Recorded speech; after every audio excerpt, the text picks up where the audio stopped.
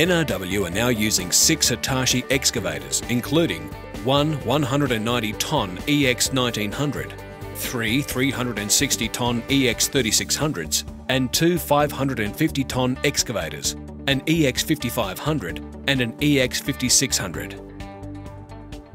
NRW also have a fleet of 23 Hitachi AC drive dump trucks, including 9 190 tonne payload EH 3500s and 14 220 tonne payload EH 4000s. As the operation at Middlemount expands, NRW are growing with it. Sean Lucas states Our initial um, volume of dirt to be moved is about 32 million cubic metres of overburden a year which converts to about 2.8 million tonnes of coal a year. NRW have recently been asked to expand the operation. In response, NRW are intending a significant increase to their fleet of Hitachi machinery. NRW have implemented an extensive maintenance program for the equipment at Middlemount and make full use of the technology available, including the onboard tracking system available on Hitachi's range of excavators and trucks.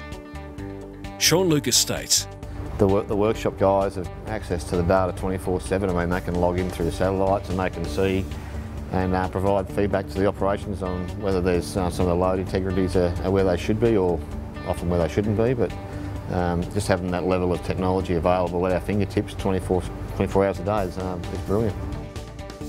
According to Sean Lucas, Hitachi has also played its part in equipment maintenance. He says that Hitachi has not only considered the mechanical needs of the equipment, but without sacrificing structural integrity, also the environment the tradesmen work in, especially their health and safety.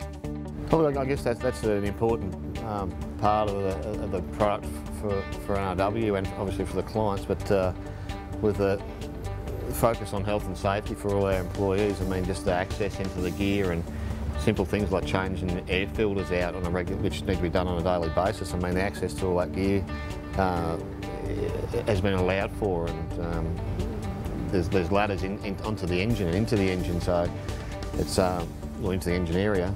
Um, yeah, so Hitachi have had, had a good look at their product and they've uh, they understand that the machines need to be maintained regularly and um, they've, they've, put platforms and steps and handrails in, in, in the right places to allow uh, the servicing of the equipment.